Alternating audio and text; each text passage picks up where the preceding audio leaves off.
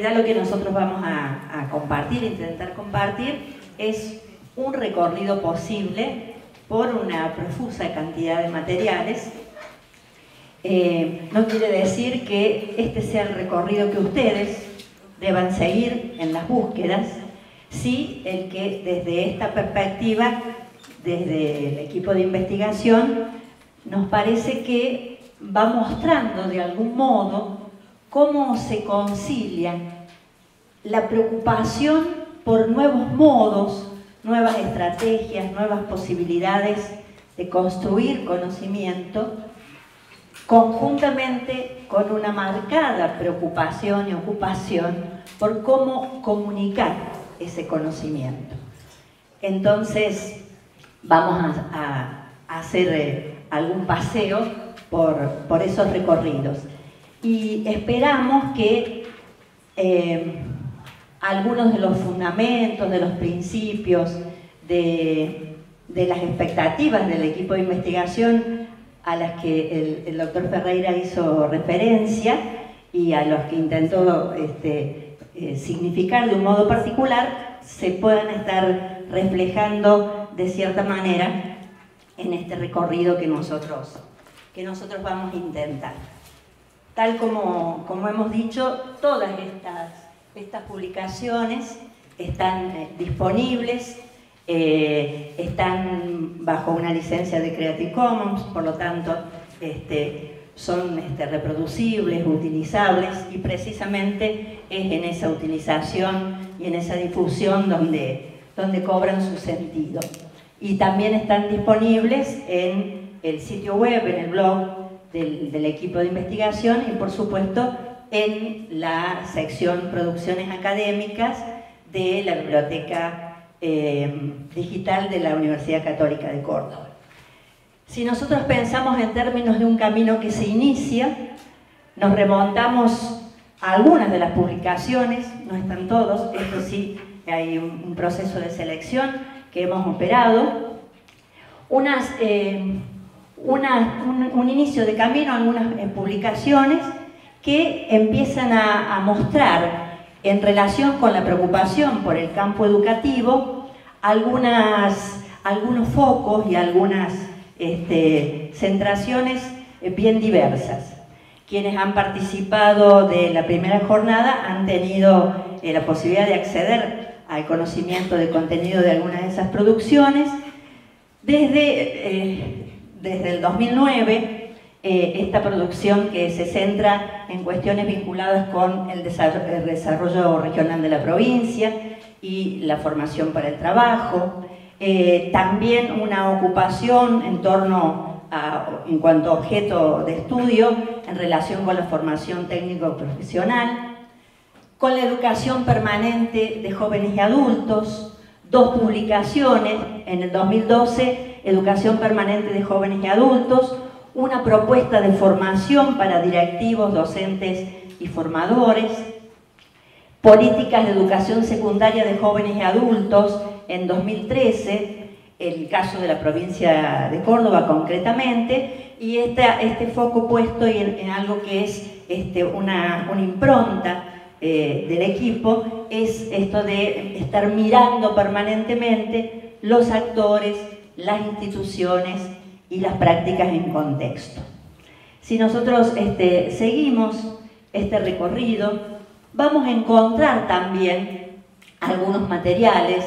de los cuales solo dos están indicados acá en esta breve presentación que hacemos, que tienen que ver con una preocupación por, tal como se indica, conocer la percepción que tienen los ciudadanos respecto de la ciencia y de la tecnología, porque como aquí se expresa, resulta pertinente y relevante a la vez para orientar los procesos de toma de decisiones en la esfera pública, a fin de contribuir con el desarrollo humano sostenible, sustentable. En, ambas publicaciones no son las únicas vinculadas con, con, esta temática, con este proyecto, este proyecto de investigación ha dado lugar a publicaciones diversas, pero eh, las dos publicaciones acerca de lo que implica eh, percepción de la ciencia, la importancia de la alfabetización científica, de la formación este, cultural científica como parte de la formación ciudadana, eh, tiene como un capítulo, para decirlo de alguna manera, tiene una arista importante en relación con la percepción de los sujetos involucrados en, el proceso, en, el estudio, respecto de la propia formación en ciencias en ámbito escolar. Y también eh, un detenerse en la preocupación en relación con los que serían, serían, según operativos eh, de evaluación tanto nacionales como internacionales, eh, unos aprendizajes no todos los satisfactorios que esperaríamos en relación con los saberes propios de la ciencia. Eh, nosotros encontramos en estas publicaciones respecto de las cuales estamos haciendo este salto rápido, una diversidad de inquietudes y de preocupaciones, una diversidad de objetos de estudio, pero nos va a interesar particularmente porque es de alguna manera lo que nos está convocando, eh, detenernos en este material que marca un hito importante en lo que refiere a la actividad del equipo de investigación. Eh, nos pareció que para de algún modo alumbrar cuál sería la esencia, el espíritu de este material, aproximaciones a la educación secundaria en la Argentina 2000-2010, entramados, análisis y propuestas para el debate, lo que en las páginas preliminares de presentación decía en aquel momento, escribía en aquel momento María, Marisa del Carmen Díaz, eh, en ese momento eh, funcionaria del Ministerio de Educación de la Nación de Argentina. En su conjunto, el estudio acepta la invitación de pensar la educación de los jóvenes argentinos sin retaseos académicos y con el valor de reinstalar el debate político como eje ordenador de los rasgos que se proponen para la escuela secundaria en un nuevo siglo. No pospone los interrogantes que inquietan, los sostiene y permite que todos seamos parte de la respuesta que buscamos. De algún modo el hecho de que nos estemos encontrando en este momento, en esta instancia, es también un modo de continuidad de este posicionamiento, de este modo de enfrentar y pensar la investigación. Y eso que el título dice respecto de entramados, análisis y propuestas para el debate, abre, abre como una línea que nosotros empezamos a encontrar de modo permanente en las publicaciones, porque tienen su correlato en el trabajo que se está llevando en el, en el campo de la investigación, por esta idea de tramar voces, de tramar perspectivas, y de pensar que este modo de construir el conocimiento científico y también de producirlo y seguirlo compartiendo, tiene que ver prioritariamente con una experiencia de diálogo de saberes. A partir de, esta publicación, eh, también empieza a hacerse permanente otra impronta del equipo que es esta mirada puesta en los desafíos y en las propuestas, en los diagnósticos y en las proyecciones de futuros y de realizaciones posibles. En el caso de estas dos publicaciones, un, casi un, un ejercicio de fantasía, de proyección a veces utópica, del cómo sería con un horizonte de expectativas situado hipotéticamente en el año 2030. A partir, son publicaciones surgidas a partir de un encuentro, de un seminario en relación con qué aprendizajes, qué escenarios de aprendizajes prevemos para el año 2030. A partir de un proyecto ambicioso que muestra cómo se focaliza el interés del equipo por trascender el ámbito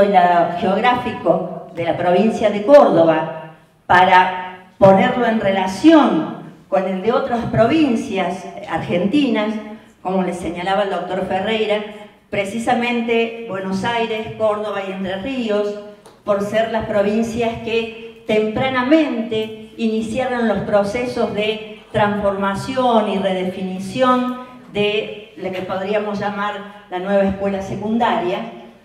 Este proyecto, Educación de Adolescentes y Jóvenes, una mirada desde los procesos de diseño y gestión de políticas públicas en educación secundaria obligatoria, el caso de las provincias de Buenos Aires, Córdoba y Entre Ríos. La particularidad de este proyecto de investigación es que sus frutos, sus resultados, pero también sus procesos y las interacciones a las que dio lugar quedan reflejados, reflejados en una colección amplia, diversa en cuanto a miradas, soportes, lenguajes, que es la colección Educación Secundaria, Sentidos, Contextos y Desafíos, una colección que, como veremos en sus múltiples series y recorridos posibles,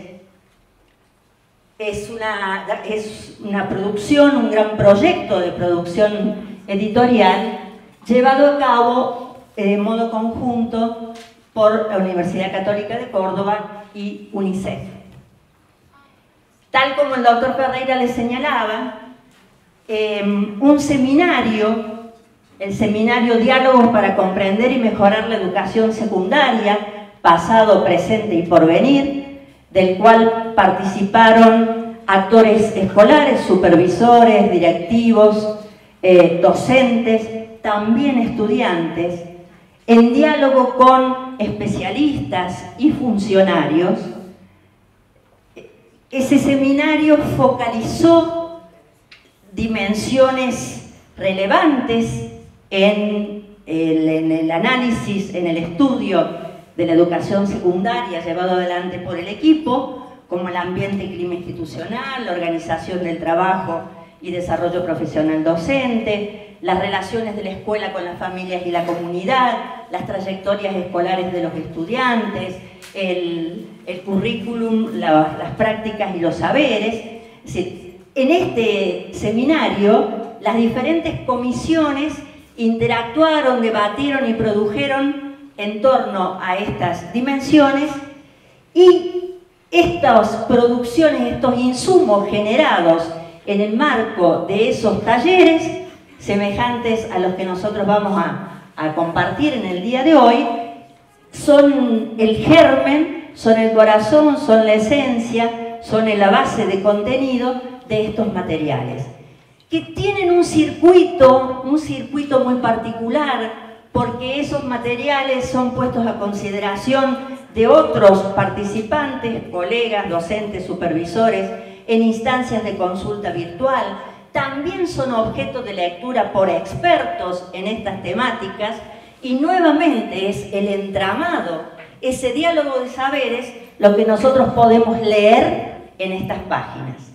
Como en ese seminario también hubo una mesa de encuentro y de trabajo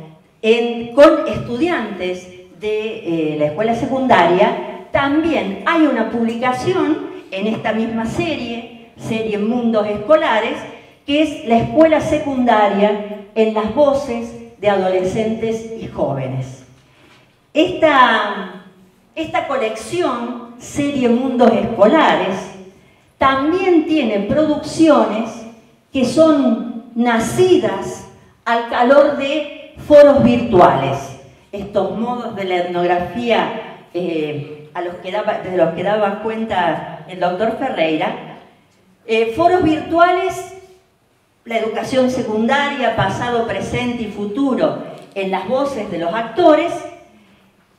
también convoca a supervisores directivos y docentes, también convoca a estudiantes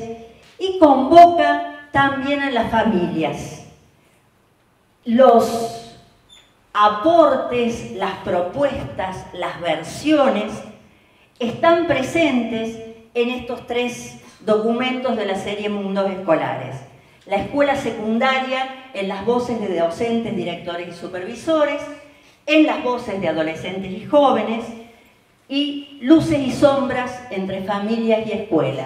Una relación protagónica en el escenario educativo actual. Esto da cuenta de un interés particular y de una toma de decisión de salir en búsqueda de poner la oreja, poner el escuchar a todo lo que tienen que decir quienes pueblan, quienes habitan, quienes hacen la escuela secundaria. Que desde estos modos de pensar la investigación dejan de ser aquellos objetos a los cuales el investigador acerca su lupa, observa para ser participantes que se involucran en los procesos de construcción de conocimiento. Además de la serie Mundos Escolares, hay una serie dentro de la misma colección, Miradas Estadísticas,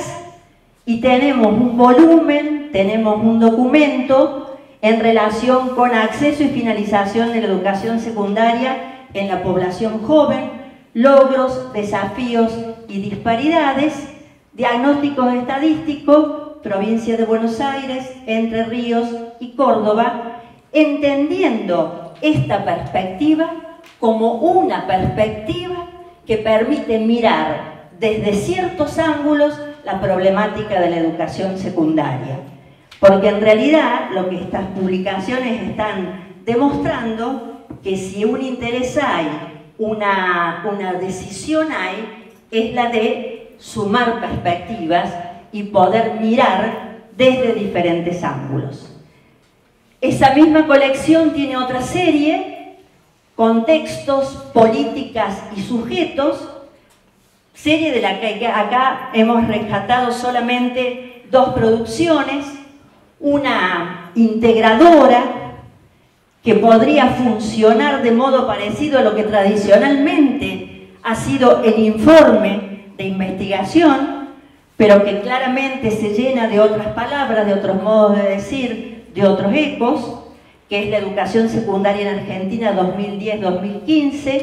el caso de las provincias de Buenos Aires, Córdoba y Entre Ríos, y también reflexiones sobre la calidad de la educación secundaria argentina, la escuela posible, recién este, Horacio ha hecho referencia a esta, a esta mirada, a esta perspectiva, a esta búsqueda de la escuela posible como horizonte de expectativas, que recupera los desarrollos de, un escrito, de un trabajo que mereció una, una mención especial del Premio Sarmiento de la Academia Nacional de Ciencias, la convocatoria 2014 del Premio Sarmiento. También una otra serie, Perspectivas Ampliadas, una mm, que aborda, que recoge, para decir de algún modo, experiencias, explicaciones, construcciones de en torno a, en un caso, a la educación secundaria sus modalidades, al currículum de ciencias naturales, con la participación de docentes, directivos, investigadores, no solamente de la Argentina, sino de toda Latinoamérica, que aportan estas miradas en relación con estas temáticas en vínculo con la educación secundaria. lo que nosotros pretendemos y que esté ocurriendo es que cada uno de ustedes, en función de, sus intereses particulares, de los proyectos en los que esté involucrado, de las preocupaciones más eh, urgentes y emergentes, podrán ir a profundizar, a buscar, a iniciar el recorrido en aquellos ítems, en aquellas estaciones del camino donde les parezca que pueden encontrar alguna de las, no sé si de las respuestas, ¿eh? pero eh, otras voces que pueden entrar en diálogo con, con las expectativas de ustedes. Otra particularidad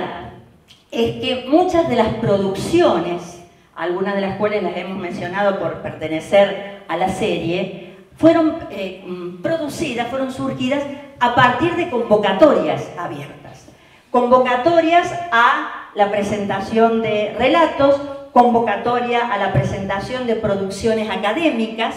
lo mismo ocurre en relación con las presentaciones en relación con la enseñanza de las ciencias naturales y también la presentación de fotografías dentro de la convocatoria Miradas socioeducativas de la educación secundaria en Argentina, presente y por venir. ¿Qué nos interesa mostrar de alguna manera? ¿Por qué están estas, estas publicaciones, estas producciones acá todas juntas? Primero, porque tienen la particularidad de